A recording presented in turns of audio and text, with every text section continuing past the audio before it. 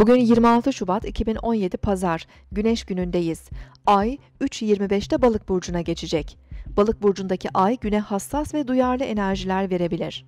Değişken ve melankolik duygular artacağından çevremizde olanların çok fazla etkisinde kalabiliriz. Gün içerisinde dengemizi korumak için sakin ve yalnız kalabileceğimiz küçük molalar verebiliriz. Günün ilk saatlerinde iletişim gezegeni Merkür Balık burcuna geçecek.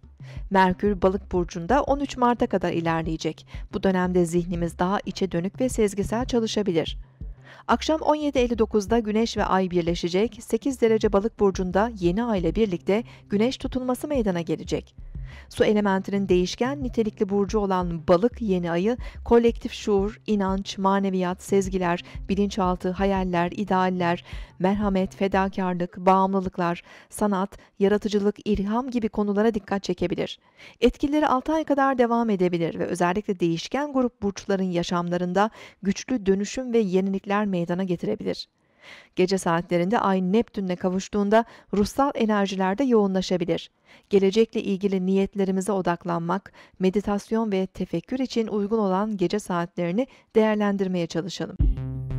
Siz de şimdi kanalımıza abone olun, yorumlar bölümüne sorularınızı yazın, sürprizlerimizden haberdar olun.